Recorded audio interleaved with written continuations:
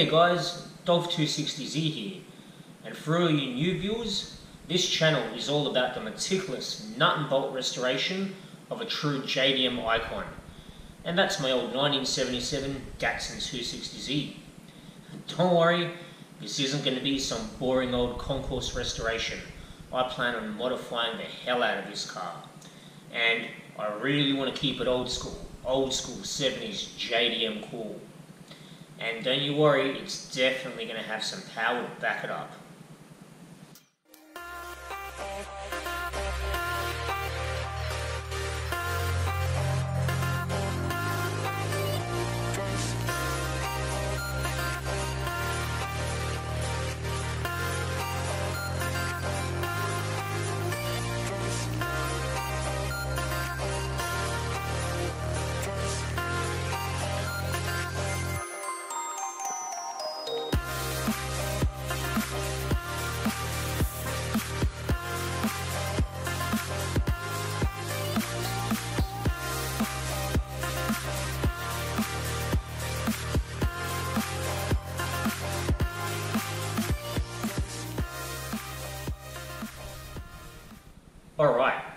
So if you're new to the channel, as you just saw with that little montage, this build is already well and truly underway.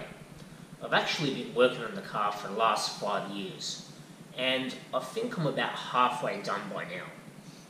If you're a returning viewer, you're probably a little bit confused by now.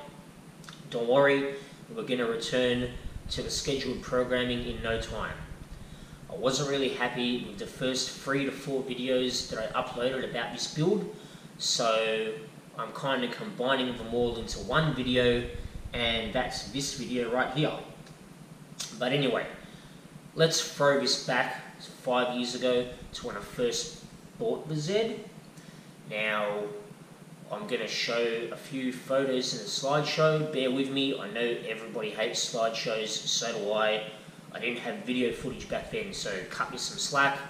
I'm going to narrate it, which is going to be really weird for me, but let's get through that, and then we'll get back to build with all the video footage, and you can see how I turn this Datsun, this rust bucket, into a real head turner and a real showstopper.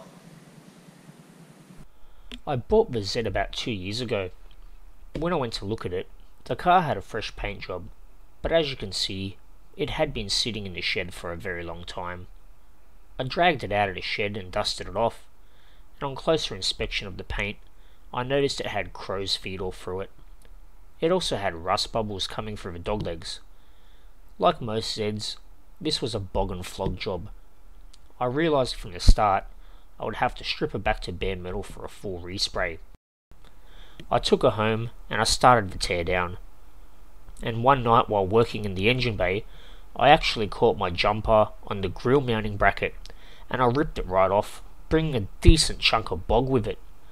So I busted out the grinder and I did some exploring. And the next bunch of photos will show the rust I found and how I fixed it.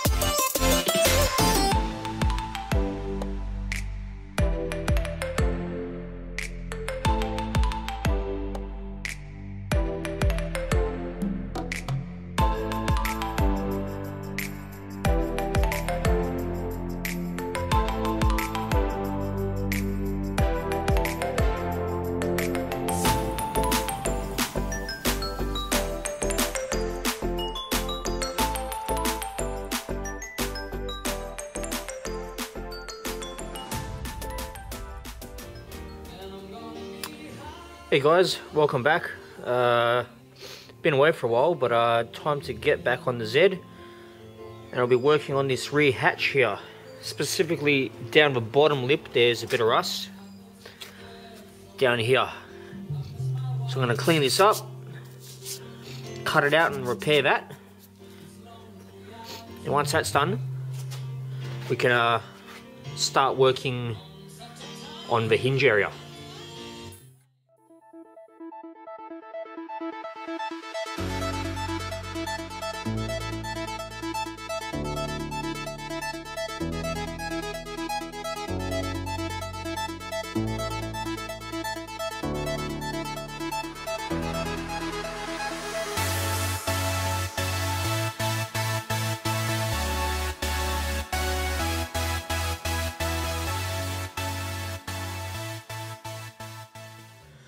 Alright, so I've ground out all the rust and I've started making the patch. As you can see, I just got a bit of off-cut steel and chisel and a hammer. And I've decided to do it this way. Before I do any cutting, I'll beat the metal into the into the rough shape that I need it. There's a couple of skins of metal there, so shouldn't do any damage to this channel. It's pretty thick. I've had to make a relief cut there to get that curve and I'll re-weld that up. And it's pretty close. Now just, I've marked the bottom lip, I'll cut that off, give it another couple of beats, weld that up, clean it up, and then I can uh, start cutting out the rust that's underneath it.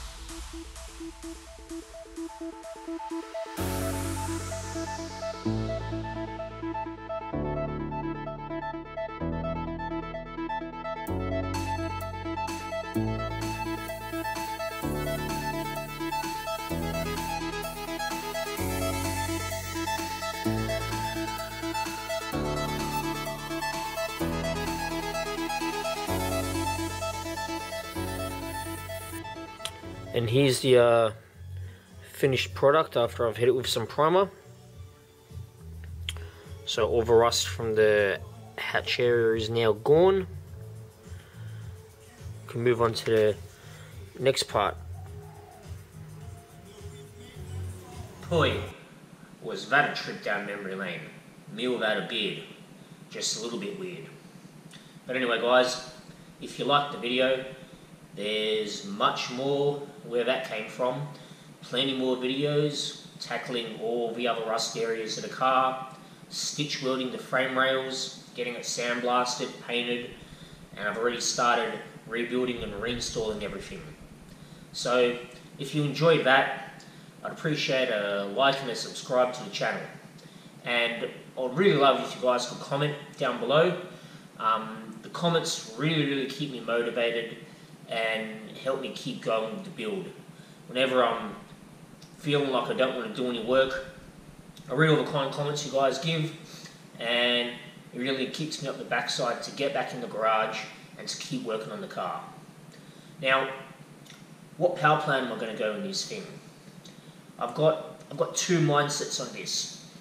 I'm either going to go on L28, which I have at Dad's place, and I'm going to stroke it and run six 42mm Mikuni carburetors off a Honda Blackbird Motorbike. So that'll be pretty trick. Then again, I'm a mechanic and all the boys at work are really grilling me to just go old school V8. So I am maybe thinking about putting a 327 Chevy in it. But I still haven't decided on that. Anyway guys, thanks for watching. Plenty more videos where that come from. I apologise in advance for the next two videos. So the next one you want to be looking for is video 4 and video 5. They're still really, really old. I'm not entirely happy with how I edited them, but persevere through them. It only gets much, much better from here. I bought a new GoPro, and I think the quality of the build and the channel has gone up a lot with my editing as well. Alright guys, thanks for watching. See you next time.